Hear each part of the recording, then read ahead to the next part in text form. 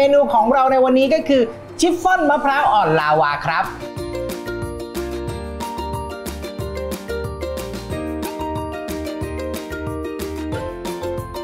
ขั้นตอนการทำมันแบบต้องพิถีพิถันน่ะอืมแบบนี้มีเทคนิคยังไงบ้างเดี๋ยวมาค่อย ๆ ดู เอ้ยเออใช่โอ้โหจากนั้นนะครับตามด้วยส่วนผสมไข่แดงนะครับอื้อหือสีสันฉูดฉาดมาก น้ำตาลทรายนะครับ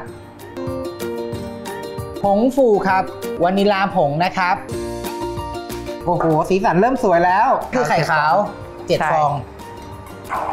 ตีถึงสมผสมเขาก็ส่วนผสมฟอดๆคือเริ่มฟูเป็นฟอง ใช่นะฮะ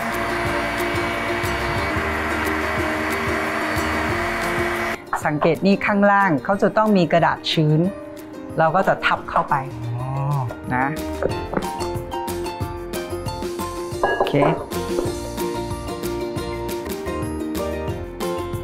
ยังมีอีกนะ ค่ะ โอเค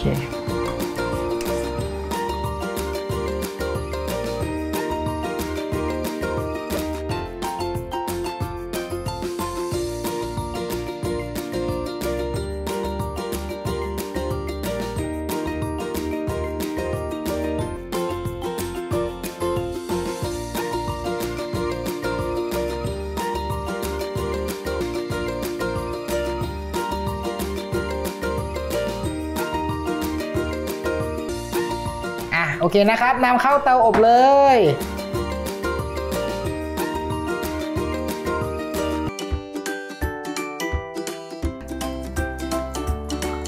น้ำตาลทรายนะครับ กับตัวแป้งข้าวโพดเนาะ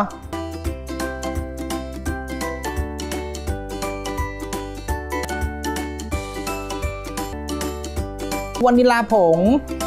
และตามด้วยเกลือป่นเสริมไอโอดีนนะครับใส่เนยสดชนิดเค็มลงไปนิดหนึ่ง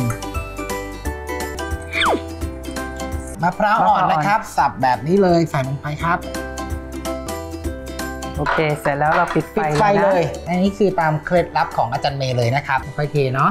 อือหือลาวาเราน่ากินมาก ค่ะ